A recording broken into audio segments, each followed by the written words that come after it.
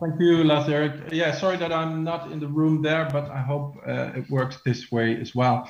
Um, so let me start by thanking the four presenters for their thought-provoking presentations. I think the presentations uh, we've heard were excellent, and it's absolute pleasure for me to, to be able to comment on these presentation and offer some reflections from my part. Um, I think each of the presentation has a, a, a, very interesting research question and the, the, the presentation and the associated research is really based on, on fascinating uh, original data collection and, and very meticulous uh, empirical analysis. I also think the findings that come out are, are interesting. They are interesting not only because they they help us understand new theoretical and empirical issues that are involved in these questions, but they're also important because they have important policy implications. And the presenters haven't spoken a lot about this in their presentation, and I will be asking some questions maybe to get them to reflect on that a little bit. Now, having said this, I have to say it's it's quite a challenge to find common threads or themes across these papers, um, given that they analyze and study very different topics, very different questions, focus on different time periods and, and, and, and different geographical locations. Yet for me, I think there are two important themes or conclusions that come out of these four presentations.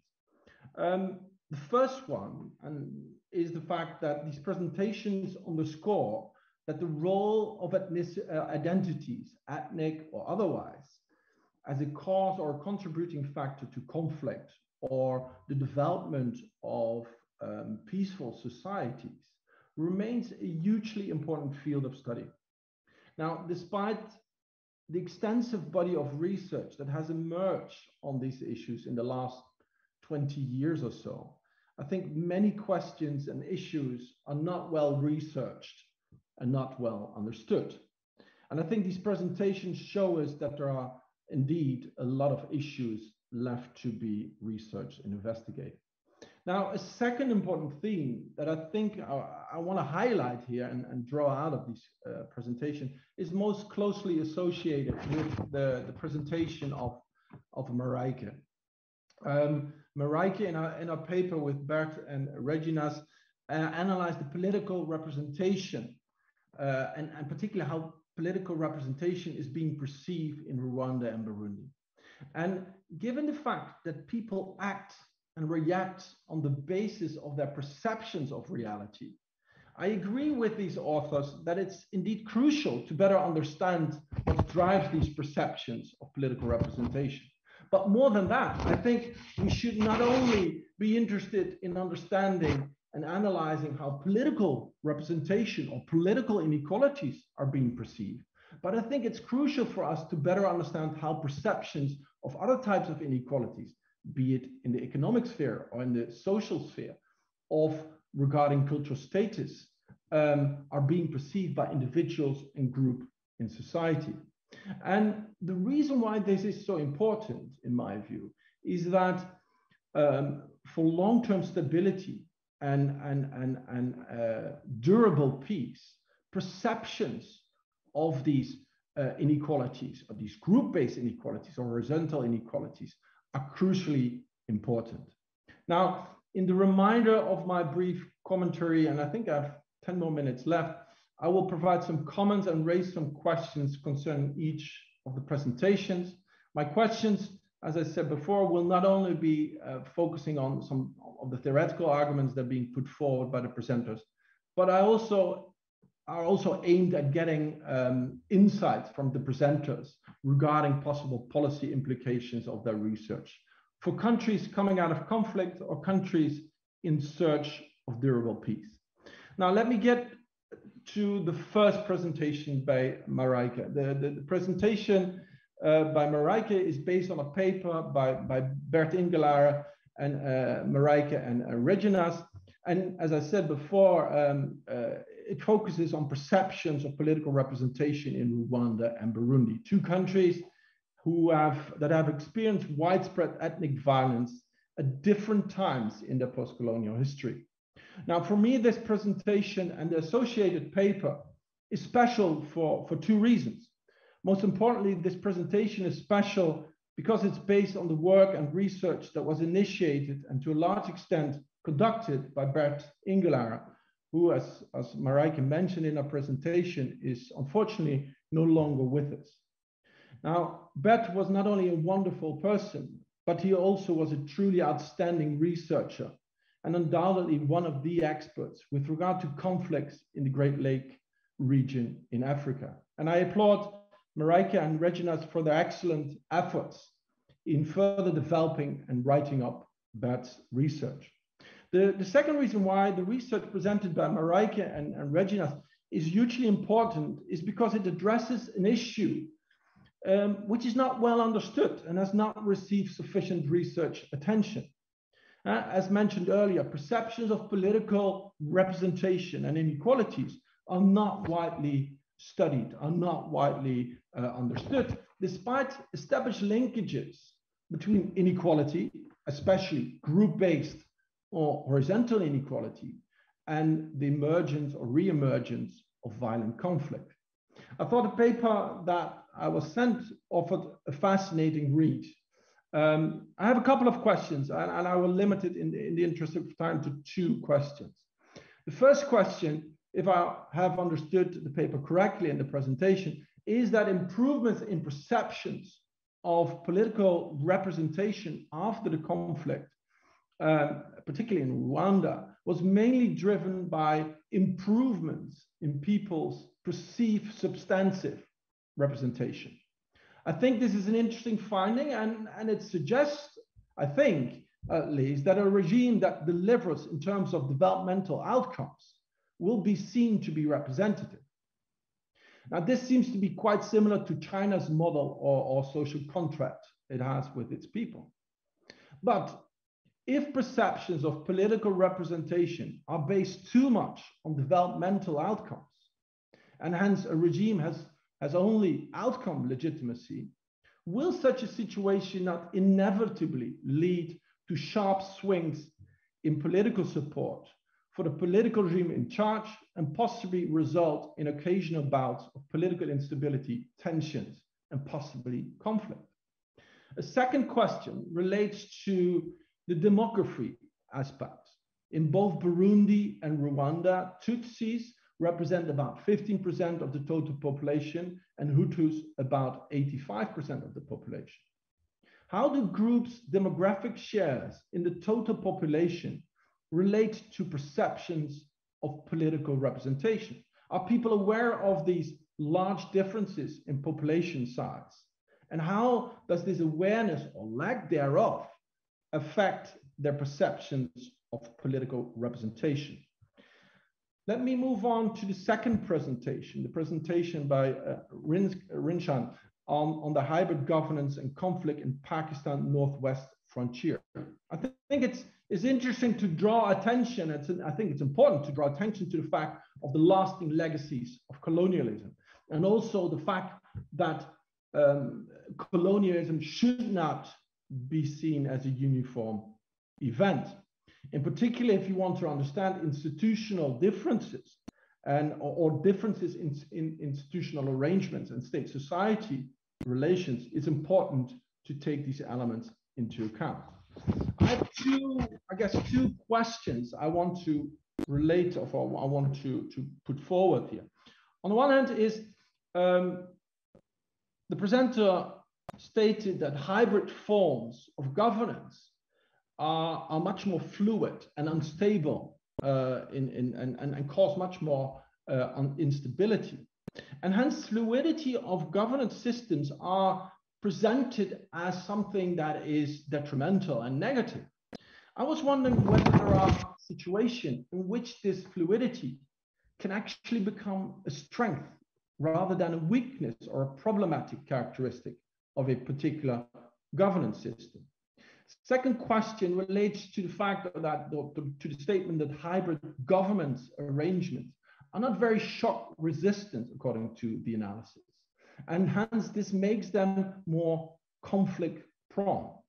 I'm wondering in this regard, what can and should be done in the short term and long term, respectively, to reduce the conflict risk of such institutional arrangements?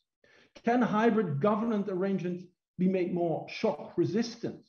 Or is the only way to reduce the risk of conflict in this situation the introduction of more formal government arrangements or more formal institutions of conflict management?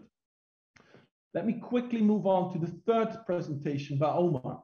Now, in his, in his presentation, he, he, focused on a number of theoretical and empirical findings and insights, which he developed more fully in his excellent book, The Path to Genocide in Rwanda. I think the book is highly original and offers very interesting new ways of thinking about violence and mobilization in Rwanda and beyond. And I have one question I want to ask regarding the third point that Omar was making uh, the, the, the, link between radicalization and violence. In this respect, I, just to remind everyone, he argues that radicalization can not only lead to violence, but the violence can also lead to radicalization. And indeed, he argues convincingly, I think, that causation runs in both directions. Now, while the argument rings true to me intuitively and also theoretically, it's still not really clear to me how pervasive, pervasive or universal the connection from conflict to radicalization is. So I want to pose the question, under which circumstances is violent conflict likely to result in the radicalization of, of people? Are all people equally susceptible to become radicalized? Or are some people immune and can withstand pressures to radicalize and, and, and commit uh, horrendous acts of violence? Moving on to the last presentation by Tugba on, um, on, on the question whether primary education has, this, has decreased the likelihood of insurgency in Turkey? That's obviously an interesting question. And in the, in the literature on education and conflict, it's, it's a well-known fact, I would say, that education has two faces. And on the one hand, it can, it's argued to contribute to comfort, to, to peace uh, by some of the mechanisms that Tugba has, has nicely set out. But there's also a lot of literature showing that education might actually be a contributing factor to violent conflict. I think about schools and, and national curricula that are being used to indoctrinate young people and may actually be used to disseminate hate and polarize people. So understanding under which circumstances and in which context education is likely to contribute to peace stability and social cohesion, and in which scenarios and in which cases it leads or might lead to, to conflict and, and violent group mobilization is a crucial question because it's also one of the areas where we think we can have an influence on, on, on creating long-term uh, long-term stability. Now, the, the, the, the results of the paper are interesting in that regard that the prevalence and availability in this regard of primary education um, did not lead to an insurgent or a decrease insurgency participation. Quite the contrary. And Tugba, in, in, in the conclusion, speaks about a possible backlash effect of the adoption and introduction of centralized education with a national curriculum and, and, and, and a national, a national um, institutions um, structuring and, and, and, and uh, structuring the, the educational curricula. Now, I want to ask a question about that. More specifically, I would like to, uh, to, to reflect maybe a little bit more on which circumstances, in which circumstances such a backlash is more likely or less likely to occur. And how can we actually avoid such a backlash from occurring? I will leave it at that. I will I look forward to our discussion and I thank the presenters for their very nice presentations. Thank you. Thank you so much, uh, Arnim, for uh, really extensive uh, comments, a lot of food for thought for uh, our presenters. But I'm not going to turn over the word to them uh, uh, as of yet because I think we should allow the audience to put a few questions. We are uh, running behind schedule, and I'm going to allow this panel to run over time just a few minutes. Uh, so I hope there are going to there's going to be no starvation in, in the room in the interim.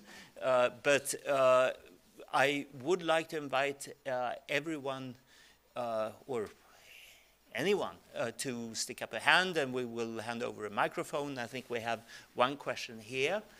Uh, so would you please we can start over here, yes? So my question and some thoughts are for Rinchan actually. Um, so first, and maybe you have this in the list of robustness checks, um, but are you able to look at um, kind of trends between these places uh, in the pre-colonial time just to show that you know they were kind of similar in other things even before colonization. Um, so maybe data from gazetteers or so on just to look at um, before as well. Um, and the second was that in terms of the in terms of the different types of mechanisms, I mean, you showed us the mechanisms that you think are plausible, but also the ones that are maybe not plausible. Um, so maybe political shifts or things that you think are not to happen. Um, and then third, also this, um, you, you mentioned that there's a rise in violence against state. Is, is it true that there is no rise or the difference across the discontinuity you know, uh, for other types of violence, is, is that unchanged? Um, and if yes, that would be interesting to see. Sorry, I've, i took too long. Thank no, you. no, that's fine. Uh, so uh, please also, for the following uh, interventions, try to uh, be as brief as possible so we uh, are able to give the panel a chance to respond. Please. Hi, and I had a question for the last presenter on the education um, so, uh, in terms of mechanisms, uh, why do you think education would lead to more conflict? Is it because of the nature of the curriculum and the nature of what is taught, which um, which gives rise to this identity issue, uh, or um, are there uh, other things which might also be different in the places uh, where uh, education um, there's more education versus less education. Are there other factors? Can you rule out other factors um, of reasons for conflict uh, in your uh, robustness checks?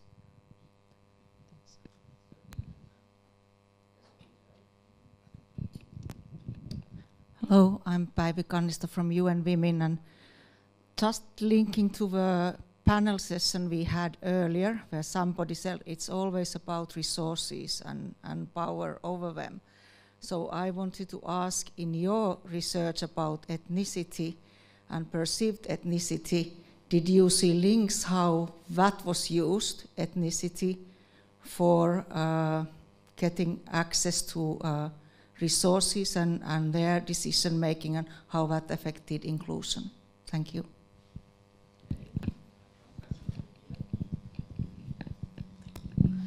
So I have one question for uh, that uh, do you also test and see whether there are differences in public good availability uh, between these two areas? So in line with like Banerjee papers that show divergence in public good provision affecting welfare.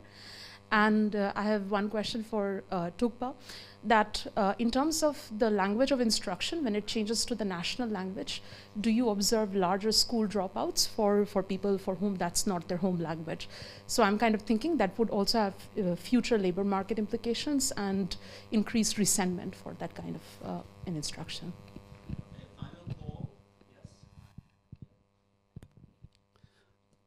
Thank you so much. I have two questions. One for Malike. I think um, I, I, want to understand why is colonial legacy so stubborn in the case of uh, Pakistan. And my question to Omar, um, I think when you were talking about the role of emotions, I think I understood the argument that you are trying to make. And my question was, how do you know that people, when they are assessing, you know, when they are trying to exercise the, their rationality, that they have uh, good quality information because I would say maybe uh, how can you account for the, the possibility of uh, maybe uh, over um, evaluating one's capabilities uh, uh, without taking into account the emotions? Because you know, you know as human beings we are also fiber you know we can have our limitations when we are assessing situations. Thank you there but in in any case uh, at this point I, uh, I think we have to close uh, the questions from the audience and we're going to turn to the members, uh, the speakers. Uh, and so we're, we're, going to go in the same order as before. And I think each speaker has roughly two minutes. So be selective. Uh, you don't have to answer all questions. You can uh, talk to uh, the people in the room. But uh, in particular, please try to respond to Arnim's points. So please go ahead.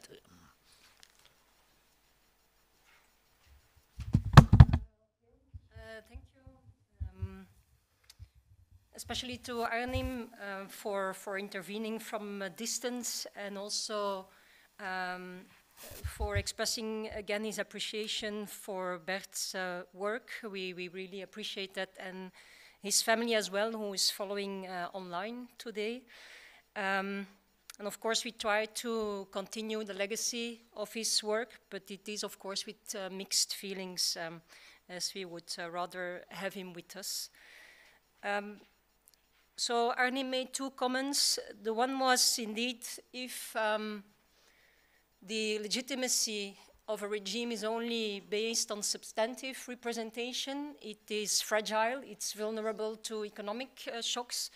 And I, I, share your concern. On the other hand, if you look at the data and certainly at the milestone um, moments uh, of formalistic representation where descriptive representation is agreed upon or um, brought in practice, you see that even Hutu in Rwanda experience or report a surge in perceived political representation, which means that they no longer associate the regime just with an ethnic identity. So I think uh, at least my reading of the data is that besides the substantive representation, this policy of uh, reconciliation also is entering the hearts and minds of people after a while, but it, it, it took time. But it could be that after a while, indeed, the salience has decreased, of ethnicity has decreased to such a point uh, that um, this vulnerability to a drop in substantive representation has, has also lowered. But of course, time will tell, and any shock also, I mean, any ethnic um, incident even in the neighboring country Burundi, like Omar said, could, could actually spark these uh, feelings again. Then on demography, people know uh, that Tutsi are a minority of about 15% and Hutu a majority of 85%. And actually, if you see the power sharing in Burundi, the Tutsi minority of 15%, demographic minority, uh, has uh, uh, ethnic quotas of 40%, which is quite generous, certainly if you compare it to the Hutu majority in Rwanda who lost the monopoly on power and has de facto maybe 40% of ministerial portfolios. But this is uh, uh, not public data, it's based on our own investigations of the identity of uh, power holders in, in Rwanda. And I have zero minutes, uh, but I will just say that uh, in terms of uh, resources in Rwanda Burundi, it's rather the scarcity of resources than the abundance of resources that uh, plays a role in the violence, um, in particular to mobilize uh, people um, and motivate them to fight. Um, hi, I'll be I'll be quick to respond to the questions that were asked. Um, thanks, Arnim, for, for, for your very important questions. Uh, with regards to you mentioned uh, fluidity is presented as a negative. Could fluidity be a strength? I would say that uh, it's more about fragility of the hybrid governance uh, system or institution rather than the fluidity. And it was fragile in the sense that it you know it was a it was a colonial era uh, system that was put in place where sovereignty was shared by the center with tribal elites on the ground. Uh, they were given some form of autonomy in terms of, you know, kind of uh, maintaining political order in their areas, but also the state um, had implemented some exceptional legal instruments and arrangements whereby they could, from time to time, uh, in fact, interact and intervene when they felt that you know the social order was close to collapsing, or it did indeed collapse in the colonial era, with with you know conflicts happening in, in these tribal areas. So uh, this system, which was fragile, was adopted by, with some modifications, by the post-colonial independent state in Pakistan which then basically, uh, with these minor modifications, continued pretty much up until the US invasion of Afghanistan in 2001, which is where we show this unlocking and violence. So, in answer to one of the questions that were raised by the audience, do you have any pre trends? Essentially, we see no difference between hybrid and non hybrid areas prior to the US invasion of Afghanistan. It's only that shock that you know unlocks this. So the result I showed, um, I didn't manage to show one of the further uh, supplementary results, was that the, the difference in conflict between hybrid and non-hybrid areas is primarily driven by the post-2001 uh, era the post-US invasion era. So there's, you know, this system, uh, remarkably fragile system, worked well in managing conflict. But then, but then when a shock happens, the fragility of this system is such to shocks that, that, that you know, violence unlocks itself. With regards to Arnim's second question, um, what could be uh, a possible solution uh, with regards vis-a-vis these hybrid areas. In fact, your suggestion, Arnim, is uh, absolutely on point. We need more formalized institutions in these areas, right? We need more formal uh, forms of conflict management. We need police presence. We need formalized courts, constitutional courts, and we need uh, electoral politics to kind of penetrate further. Uh, the Pakistani state has formally, de jure, uh, introduce, you know, um, uh, kind of elections and district administration in these areas, but de facto, none of it has, has really taken place on the ground. And this de jure change even happened very recently. So let's see, you know, that's something that, that remains to be seen um, on the ground. Um, and in, in answer to one of the questions, one final question about, um, you know, differences in public goods. Uh, that is something that we uh, for sure are going to test. I showed you balance on climatic as well as geographic dimensions, but public goods dimension is another one that we want to show the balance test for, for spatial RD. Uh, but one of the things is because the variation that we're picking up in our RD estimation comes from such a narrow buffer zone around the hybrid border, we feel that even public goods provision, things like roads or rail railroads or you know other kinds of public infrastructure, hopefully the balance test will will will will pass. But that's something that we're going to incorporate as the next step in our, in our data set. Thank you. Thanks.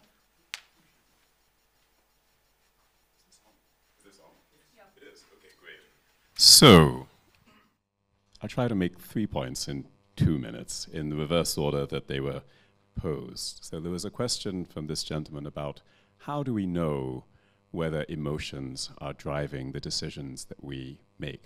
And it's a kind of relevant question if we think about what's going on in Ukraine at the moment and the way that we frame Putin's decision. Um, on the one hand, he's framed as a, you know, he's lost it, right? He's emotional. Um, on the other hand, perhaps it isn't that. Perhaps it's that he's simply you know, he made a calculation and he simply made a miscalculation that um, that uh, that there would be as much resistance and there would be as much support as there was in Ukraine. So the answer to the question is it's really obviously very difficult to know what's going on inside the mind of an individual. It doesn't stop psychologists from having a go, though. There is quite an extensive body of research where they do try to cue individuals um, with emotions to see how that affects their decision making processes. In my case, I'm simply inferring from observed behavior and coming up with the most theoretically reasonable explanation, which in my view was it's a combination of both cognitive and affective processes. There was a question about the role of resources and ethnicity. Yes, I mean, this panel is entitled Ethnicity Inequality, and, I, and something else. But resources obviously do matter when it comes to inequality. But I would actually go back to, I guess, the 19th century and to Weber. So Weber, when he talks about inequality, he talks about three different bases of inequality, of which resources, by which he means economic material resources, is only one. The other is power, um, and Marijke talked about how political power is a very important driver of conflict and also reconciliation after conflict, but also prestige or status. And this is more closely in line with what I've been looking at about symbolic and identity and things that are much more intangible to be able to measure. But prestige as a very important dimension of inequality. Um, it, it kind of explains why it is that, for example, poor uh, non-college educated whites in the United States vote against their material interests and vote for the Republican Party despite its redistribution preferences. And then Arnim. Um, thank you, by the way, Arnim, for uh, Arnim, so you should know, only knew that I was going to present my book about 48 hours ago, and I sent him the link to the e-copy. I, I don't believe Arnim would have had the time to do so, but nonetheless, I appreciate the fact that he engaged with uh, the point. So Arnim asks me about the third point about radicalization being a consequence of violence. So, and he asked specifically the question of, well, is it true that everybody is equally susceptible? No, no, there is individual heterogeneity. Um, from, from a social science perspective, what we would want to know about this heterogeneity is the distribution of that heterogeneity uh, across societies and across time. You only have to look at some of the classic psychosocial work um, on violence, for example. So Stanley Milgram's experiments from the 1960, Philip Zimbardo's experiments from the 1970, Solomon Asch's experiments from the 1950s. We take all that research and we think, well, that means that in anybody is capable of committing violence under the right circumstances. What we often miss in that research is that we look at the sample sizes, there's actually quite a significant number of people who do not turn the dial all the way to the very end in the case of Stanley Milgram's experiment, and who refused to become uh, abusive prison guards in the case of Solomon Asch's experiment. So clearly there is individual heterogeneity um, because individuals differ in their disposition towards violence and therefore by extension to their susceptibility to radicalization. Okay, so uh, should I? Okay. So uh, about Arnim's question uh, regarding where we could see this backlash effect most, I think this completely depends on the uh, nature of the education curriculum in a country and how exclusive or inclusive it is. Unfortunately, because this is a very hard thing to uh, identify and measure across different countries. Uh, as far as I know, there is no um, data that we can use to measure that or to see where we can see this backlash effect. But I think the content of education, the educational content and the curriculum and also the rituals embedded in the education system are very important and how exclusive they are will determine how much backlash they will receive uh, in terms of participation and of uh, participation and insurgency I think um, a second question was about how this backlash effect uh, like occurs in practice. So I think uh, being excluded from like the uh, school, like if you see as a member of a minority group, if you see yourself or your identity or culture it, if it's being excluded from curriculum or school content, this is likely to create some um, uh, grievance, even, even if it's not like uh, about material material circumstances. This will still mean that you're excluded uh, from some area that uh, that belongs to you uh, originally, and therefore this may actually induce grievances, as is the case with like economic grievances and. Uh, of course, it's a big threat to group identity, and against this threat, uh, it's very likely that this backlash effect may um, give incentives to some young people to join insurgencies. And there was another question about how much uh, student enrollment is, uh, given that uh, the instruction language is not Kurdish or there are no Kurdish schools. Um, yes, this is, I mean, the enrollment rate, I mean, historically was always lower for Kurdish areas, and the compliance rate, of course, with mandatory compulsory education is very low in Kurdish areas. Of course, this is not only um, a function of ethnicity, but uh, other things like the power of local elites and how much they are allies with the newly founded republic, but uh, still this affected students' enrollment rates and probably future social and economic outcomes.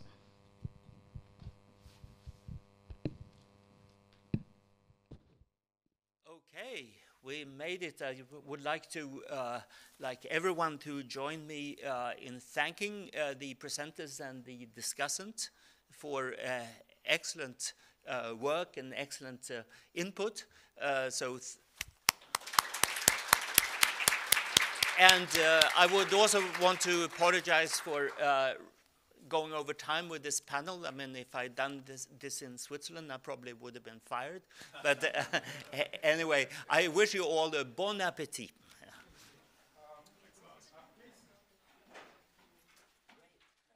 Um, please, before we leave the auditorium, um, all the sponsored participants, please remember to drop by the um, travel support office um, at the library, yes, um, during this break. Thank you.